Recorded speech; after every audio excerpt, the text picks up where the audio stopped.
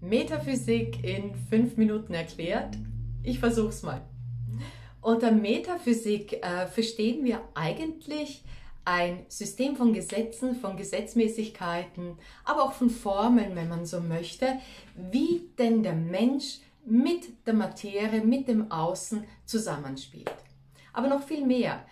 Es gilt eigentlich für alle Lebewesen.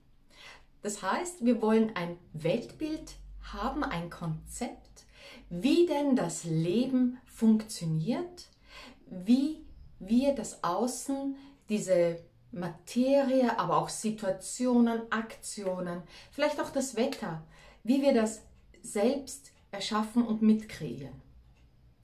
Das heißt, alles Lebendige ist ein Teil von dieser Welt und das kann nicht einfach ausgespart werden, so wie die Schulphysik das gerne macht.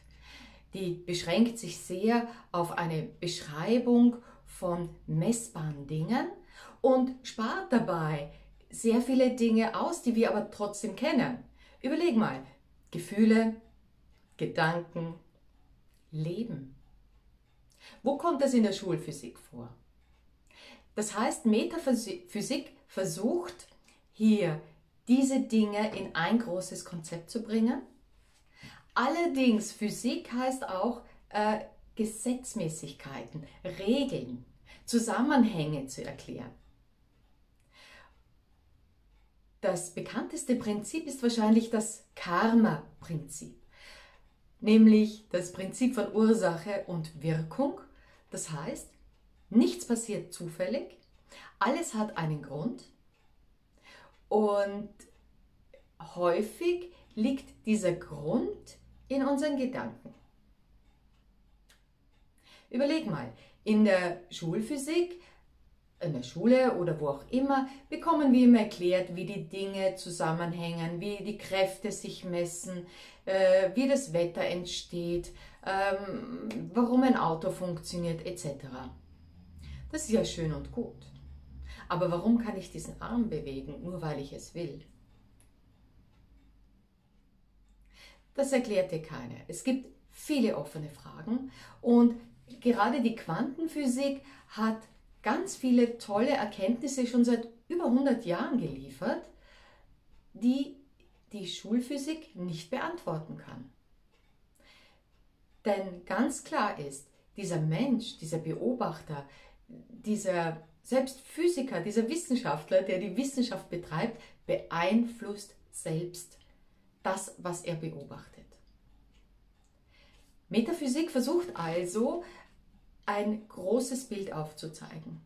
Nur dieses große Bild werden wir nicht aufzeichnen können als solches, aber wir werden einige Gesetze, die unseren Erfahrungen auch entsprechen, äh, einfangen können. Und dazu gehört auch ein Prinzip von Hermes Trismegistus, das lautet, der Geist beherrscht die Materie. Der Geist erschafft erst die Materie. Wir haben in der Schule gelernt, dass meine Aktion zu einer Reaktion oder Konsequenz führt im Außen. Ja, ich nehme einen Hammer, schlag was kaputt, es zerbricht. Wie ist es aber möglich, dass ähm, jemand das rein mit Gedankenkraft schafft? Wie ist es möglich, dass Shaolin-Mönche schweben?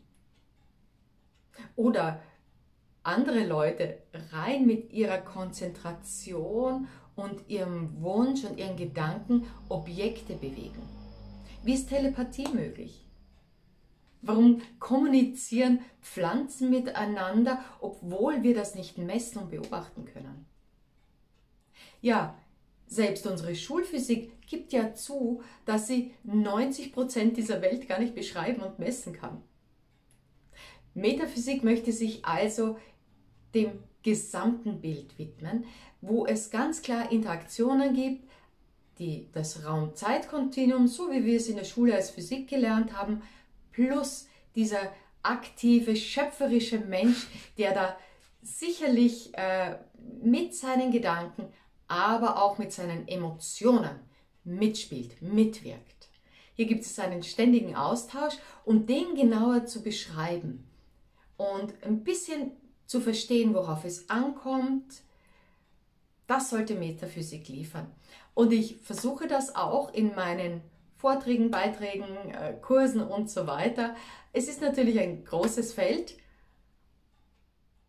Und in fünf Minuten erklärt, denke ich, habe ich heute das Wesentliche, worauf es, an, worauf es ankommt, nämlich die Gedanken, die du dir immer wieder einpflanzt zu einem Thema. Manchmal kann es auch sein, dass du zu einem un oder zu einem neuen Thema noch äh, gar keine Gedanken hast. Und der einzige, die einzige Meinung, die dir unterkommt, die manifestiert sich. Hier geht es also um Dominanz. Welcher Gedanke ist am dominantesten und welchen gebe ich am meisten Kraft? Und diese Kraft äh, hängt nicht davon ab, wie gut sie ist, sondern nur wie intensiv.